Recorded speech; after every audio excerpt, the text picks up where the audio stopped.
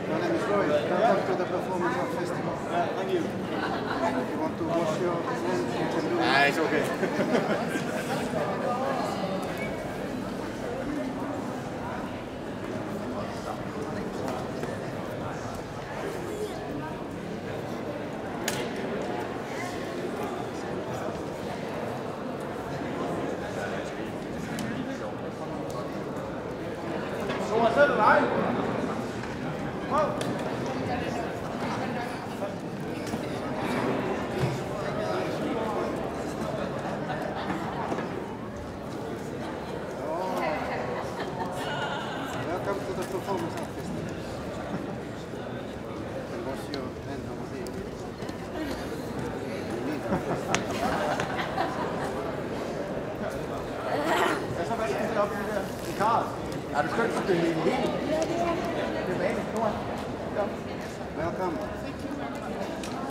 Det er vanligt